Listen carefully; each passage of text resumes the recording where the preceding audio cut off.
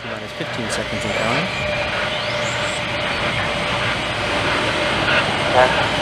seconds to both main engine start. 7, 6, 5, 4, 3, 2, 1.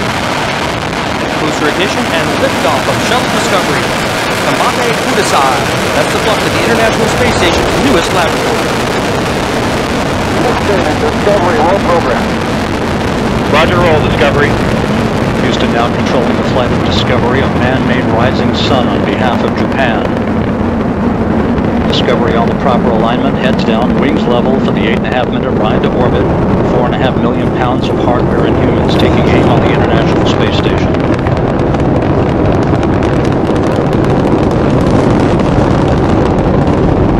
Thirty-six seconds into the flight, three liquid fuel main engines now throttling back to 72% of rated performance, going in the bucket, reducing the stress on the shuttle as it goes supersonic.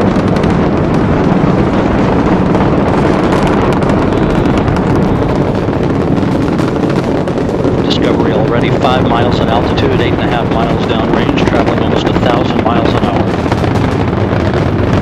Discovery Houston, go and throttle up. Roger, go and throttle up. Throttle up call acknowledged by Commander Mark Kelly, joined on the flight deck by pilot Ken Ham, flight engineer Ron Garan, and mission specialist Karen Nyberg. Down on the middeck are Mike Fossum, Aki Hoshide, and Greg Chamitoff, heading for a half year on the International Space Station.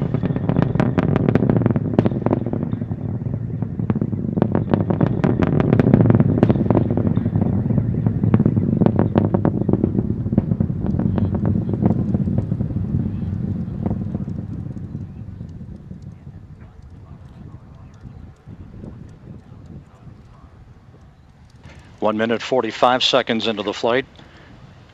Discovery 22 miles in altitude, 23 miles downrange, standing by for solid rocket booster separation.